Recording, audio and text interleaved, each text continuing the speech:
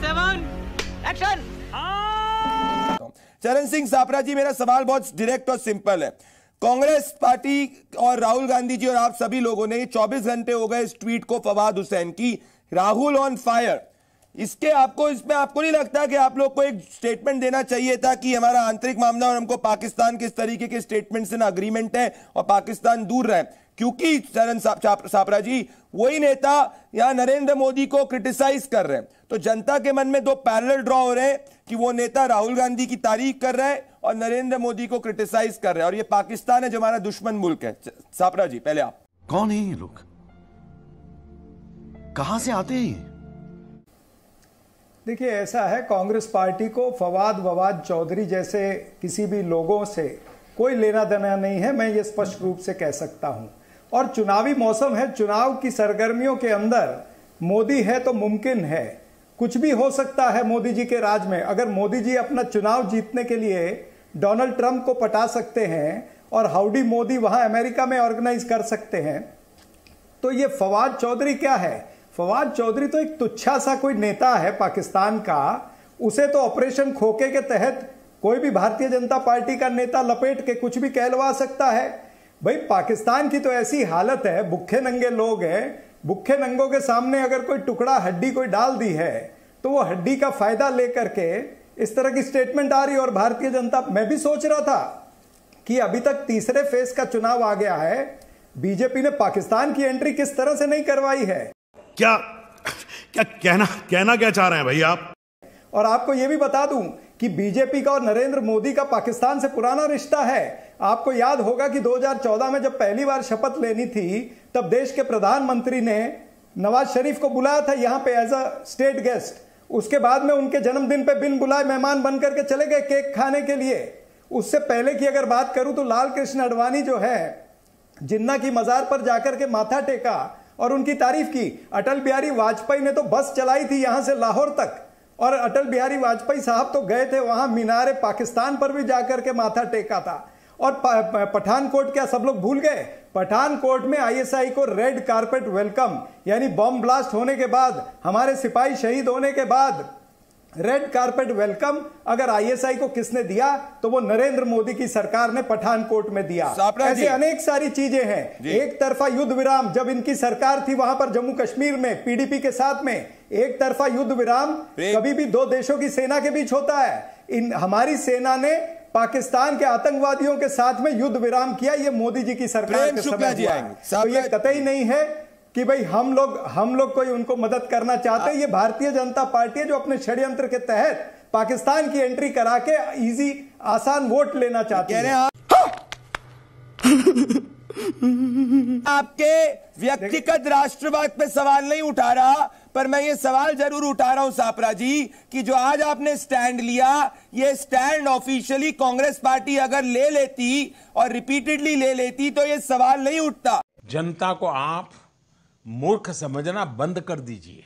इस प्रकार की बचकाना बातें। किसी के गले नहीं उतरती, लोग मज़ाक उड़ाते हैं।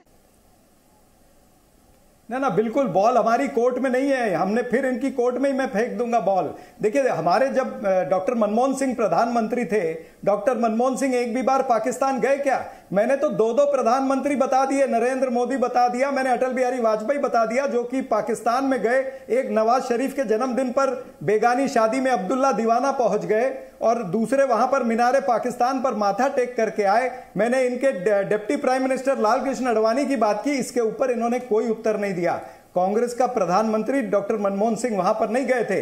यह पहली बात। दरअसल प्रदीप जी बात यह है आप भी इनके चक्कर में इनके व्यू चक्कर में फंस रहे हैं। नरेंद्र मोदी और भारतीय जनता पार्टी इस देश के जो चुनावी मुद्दे हैं ना उस पर चर्चा नहीं करना चाहती है। मुझे यह बता दे भारतीय जनता पार्टी के प्रवक्ता कि आप 400 पार आप 400 पार का नारा लगा रहे हैं आप संविधान क्यों बदलना चाहते भाई? आपके एक नहीं चार चार नेता बोल रहे हैं ज्योति मिर्दा बोल रही है आनंद हेगड़े बोल रहे हैं वो लल्लू सिंह बोल रहे हैं अरुण गोविंद बोल रहे हैं कि हमें 400 पार करा दीजिए हम देश का संविधान बदलेंगे। एक चीज़ और एक चीज़ और। आप आरक्षण आप आरक्षण हाँ। पर हमला क्यों करना चाहते हैं? हाँ। इसका उत्तर दीजिए ना। आप आरक्षण पर हमला क्यों करना चाहते हैं? आप जातिगत जनगणना क्यों नहीं कराना चाहते देश के प्रधानमंत्री वो प्रज्वल रेवन्ना के पास में क्यों पहुँच जाते हैं? प्रज्वल प्रज्वल रेवन्ना रेवन्ना रेपिस्ट है जी सापरा जी के लिए नरेंद्र प्रज्वल रेवन्ना शुड बी मोदी वहाँ पर अरेस्टेड जाकर के वोट मैं मांगते कहता हूँ। प्रापरा जी मैं हाँ, कहता हूँ प्रेम तो शुक्ला जी और सापरा जी मेरी बात ध्यान से सुनिए। मैं सापरा जी आपकी प्रधानमंत्री सीनियरिटी पर सापरा जी सापरा जी देश के प्रधानमंत्री उसके प्रचार में गए सापरा जी, सापरा जी, पूरे देश से। देश की जी, एक एक महिला. देश की आधी आबादी से देश के प्रधानमंत्री ने माफ़ी सापरा जी अब आपने अपने पॉइंट को दिया मैंने आपको सबसे ज़्यादा टाइम डिबेट में दिए। मैं एक सेकंड अब डिबेट आप कुछ भी बोलो ये नहीं सुनने वाला। देखिए प्रदीप जी वाकई में ये दो फ़ेज़ का चुनाव खत्म हो गया और ये पूरा देश इंतज़ार कर रहा था कि हिंदू आ गया मुसलमान आ गया पाकिस्तान की एंट्री क्यों नहीं हुई? तो मुझे कोई अचंबा, मैं अचंबा नहीं हुआ और देश भी आज बहुत अचंभित नहीं है कि अगर पाकिस्तान की एंट्री हो रही है तो मुझे लग रहा कोई बहुत अचंबा होने की ज़रूरत नहीं है। हम सब लोग पहले से फेमिलियर थे और जानते थे कि पाकिस्तान की एंट्री कहीं ना कहीं, किसी न किसी एंगल से होने वाली है। और यह भी आप जानते हैं और पूरा देश जानता है कि जब पाकिस्तान की एंट्री होती है तो इन हालात में फ़ायदा किसका होता है? बीजेपी का फ़ायदा होता है। तो अपने फ़ायदे के लिए बीजेपी वो किसी स्तर पर जा सकती है। ये तो लेटेस्ट न्यूज़ है।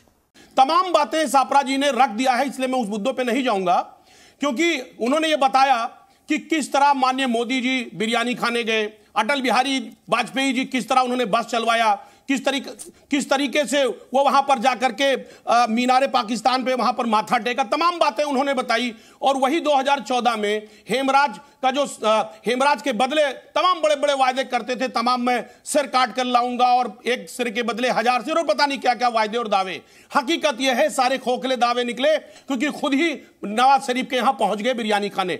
उस सब मुद्दों पर मैं नहीं जाना चाह रहा हूँ। मुद्दा यह है कि एक बड़ा ज्वलंत इशू आया। कोविशील्ड का इशू आया। कल से वो बहुत रन कर रहा है बड़े स्तर पर क्योंकि माननीय मोदी जी शायद उनको याद है और देश की जनता को याद है शुक्रिया मोदी जी। शुक्रिया मोदी जी बड़े बड़े होर्डिंग लगे थे। साहब मैंने को, मैंने वैक्सीन दिया अरे सुनिए मेरी बात। हाँ। अरे मेरी बात प्रदीप जी सबको लंबा वक्त दिया मुझे बोलने दें हाँ सुन रहा हूँ। शुक्रिया मोदी जी बड़ी होर्डिंगें लगी थी। अस्सी करोड़ लोगों को लगा दिया कोविशील्ड और और उससे पैसा भी ले लिया। धन उगाही भी किया। सुनिए सर प्रदीप सही वो मुद्दा ना उछला जाए। तमाम लोगों की मौत हो गई। तमाम खून का थक्का जम रहा है। तमाम लोगों की मौत दौड़ते हुए भागते हुए हो गई। वो बात दब जाए पाकिस्तान की एंट्री कहीं ना कहीं। इस वजह से हुई है। देश संकट में है। प्रमोद जी प्रदीप भंडारी जी एक बात देखिए कि चुनाव के अंदर मोदी जी दररोज दररोज भटकाने वाली बात कर रहे हैं। अब पाकिस्तान का कोई आदमी बोले पाकिस्तान का कोई मिनिस्टर है क्या वो भटकेगी? जनता आपको जनता के, आपको विजडम पे सवाल उठाते रहते हैं। आप लोग जब बोल भटकाने की भटकाने की, अरे जनता को आपकी पार्टी का आईटी सेल बेचता है, भाजपा का आईटी सेल बेचता है, कांग्रेस का आईटी सेल बेचता है, सब तमाम नेताओं के आईटी सेल बेचते हैं। जनता के विजडम पे तो रखो, यही जनता तेलंगाना के अंदर कांग्रेस को जिताती है, यही जनता भारतीय जनता पार्टी को मध्य प्रदेश के अंदर जिताती है, यही जनता कर्नाटका में कांग्रेस को जिताती है, यही जनता लोकसभा में बीजेपी को जिताती है। क्या भटका जनता, भटके भटक जाएगी भटक जाएगी। आप जब जीतोगे तो जनता नहीं भटकी, कोई और जीतेगा तो भटकी, ऐसा नहीं होता। जनता के सामर्थ्यवान सामर्थ्य पे उसके विजडम पे मत क्वेश्चन करिए आप प्लीज़ बोलिए. चूतिया नहीं लग रहा है। चटक चूतिया लग रहा है। किशोर जी. हाँ प्रदीप जी हाँ। अ, कोई डिबेट होती हो तो एंकर की भूमिका बहुत मर्यादित होती है। मैं मर्यादा अगर। एंकर ही एंकर ही चालीस मिनट बोल ले तो 21 मिनट। हाँ, वाजपेयी जी झूठ झूठ क्या बोलेंगे? वाजपेयी तुम क्या झूठ बोलोगे? हाँ मैं अभी बता रहा हूँ मेरी बात सुनो प्रदीप बोलो, जी बोलो, बोलो। चुनाव के अंदर कोई भी मुद्दा चल नहीं रहा है इनका। हाँ। चल नहीं रहा है। तो अभी ये पा, भारत पाकिस्तान का मुद्दा ले आए। लेकिन पाकिस्तान के किसी मिनिस्टर को आ, भारत के अंतर्गत इलेक्शन में बोलना नहीं चाहिए। उसकी मैं निंदा करता हूँ। पाकिस्तान को तो आ, जो पाकिस्तान ने किया है, उसकी सजा मिलनी चाहिए, ये भी मैं बोलता हूँ। लेकिन चुनाव चुनाव भारत में किस मुद्दे पे हो रहे हैं? चुनाव हो रहे हैं बेरोजगारी, किसान महँगाई और आरोग्य व्यवस्था, शिक्षण का खर्चा, लोगों की परेशानियों पे हो रहे हैं। मोदी जी कोर इशू पे बात करेंगे तो तीसरे चरण के बाद शायद मोदी जी की पटरी पे गाड़ी आएँगी नहीं तो मुझे लगता है मोदी जी चुनाव हारने को जा रहे हैं। मोदी जी को आ, इस वक्त लोग नकार रहे हैं। ए के वाजपेयी जी अब के वक्त आपको मोदी जी की वजह से चुनाव हारना पड़ेगा क्योंकि वो किसान की बात करते नहीं रोज़गार की बात करते नहीं सुविधा की बात करते नहीं आरोग्य की बात करते नहीं। अरे बाप रे ये तो धोती खोल रहा है। अभी आप पिछले 24 घंटे में पाँच ट्वीट्स कर चुके हैं। आपकी पार्टी इंदिरा गांधी के समय में मेरे को याद है अच्छी तरीके से किस तरीके से ईस्ट पाकिस्तान को आपने अलग करके बांग्लादेश जो है नया मुल्क फॉर्म हुआ था वो स्ट्रॉन्ग नेशनलिज्म है। आज शायद देश की जनता भी नरेंद्र मोदी जी को स्ट्रॉन्ग नेशनलिज्म के लीडर के रूप में देखती है। कुछ भी कुछ भी। देखिए देखिए आपने फवाद चौधरी के बारे में पाकिस्तान के बारे में मुझसे पूछा मैं पार्टी का राष्ट्रीय प्रवक्ता। हूँ आपने कहा ना? जी। तो मैं राष्ट्रीय प्रवक्ता अगर बोल रहा था वो पार्टी का स्टैंड ही बोल रहा है तो इससे ज़्यादा आपको क्या चाहिए? ये एक चीज़। दूसरी चीज़ बीजेपी के प्रवक्ता जब बात कर रहे थे तब मुझे याद आ रहा था और आपने भी अभी कहा कि देश की जनता जो है वो राष्ट्रवाद को प्राथमिकता देती है। निश्चित रूप से राष्ट्रवाद मेरी भी प्राथमिकता मेरी पार्टी की भी प्राथमिकता है। लेकिन उस राष्ट्रवाद का क्या करें? जो सत्यपाल मलिक ने बताया था कि जब पुलवामा अटैक हुआ उन्होंने नरेंद्र मोदी जी से बात कही और उन्होंने खुलेआम कहा कि ये हमारी गलती की वजह से हुआ है ये हमारे इंटेलिजेंस फेलियर की वजह से हुआ ये इसलिए हुआ क्योंकि हमने उनको हेलीकॉप्टर नहीं प्रोवाइड किए ये हमारी गलती है ये सत्यपाल मलिक ने देश के प्रधानमंत्री से कहा लेकिन देश के प्रधानमंत्री ने उनको चुप करा दिया। तुम्हें शर्म है कुछ? कुछ शर्म आया है? और उसके बाद में आज ये 400 सीटें पार की बात करते हैं 400 किलो आरडीएक्स कहाँ से आया, क्यों आया, ये पता नहीं लगा पाए नरेंद्र मोदी आज तक। इतने साल हो गए और 400 सीटें कहाँ से लानी है, ये पता लगा लिया इन्होंने। तो इस तरह का फर्जी राष्ट्रवाद जो है ना बीजेपी का, ये देश की जनता जानती है कि समय आने पर ये अपना राष्ट्रवाद लाते हैं और अपनी वोटों की खेती करके निकल जाते हैं। इन्हें कहिए कि देश के मुद्दों पर आए। प्रेम देश के मुद्दे महँगाई बेरोजगारी आर्थिक विषमता आर्थिक विषमता किसानों की समस्या किसानों का उत्पीड़न महिला उत्पीड़न इन तमाम सारे मुद्दों पे आइए। बताइए ना किस तरह से आर्थिक विषमता बढ़ रही है? अमीर हो रहा है गरीब और गरीब हो रहा है। देश के 22 पूंजीपतियों के पास में सत्तर करोड़ हो पैसे। हैं। ये आर्थिक विषमता का उत्तर है, हो। प्रधानमंत्री देंगे ना आपको असली मुद्दों पर नहीं सभा हो आना असली मुद्दों पर नहीं आ रहे। प्रेम शुक्ला जी जवाब दे। फवाद चौधरी की औकात क्या है? अरे मुझे बताइए फवाद चौधरी की औकात क्या है? उसके ऊपर इस देश के अंदर चर्चा क्यों नहीं होनी होंगे भाई साहब, कुछ देर ये है बात। देश के मुद्दों पर 130 करोड़ जनता जो है ना 130 करोड़ ठीक है, साबरा मुद्दों जी, पर बात साबरा जी, ना देश के प्रधानमंत्री करना चाहते ये शाह जी। है देश में तानाशाही लाना चाहते। जी। बात तो सही है। दोनों से अब कहना चाह रहा है। हूँ। अब दोनों को सुन रहा हूँ। अब दोनों को जनता ने देख लिया।